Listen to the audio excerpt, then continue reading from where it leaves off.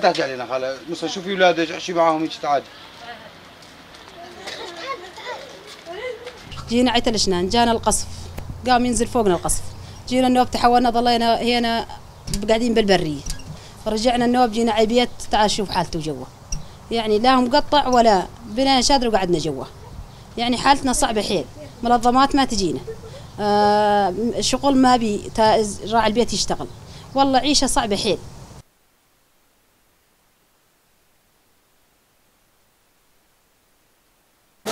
يعني بهالزمن مو سهله إنه أنت تدير الأزمة يعني.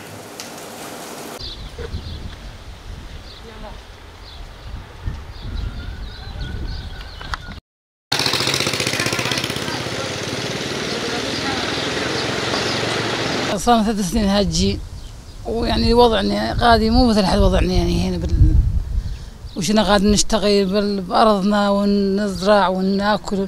راح يعني وضعنا هنا يعني تحت الصفر ولا بمعينات لا يساعدونا لا بي صار تقريبا من العام ما شفنا ولا ولا معينة هنا ولا مساعدة ولا كل شيء.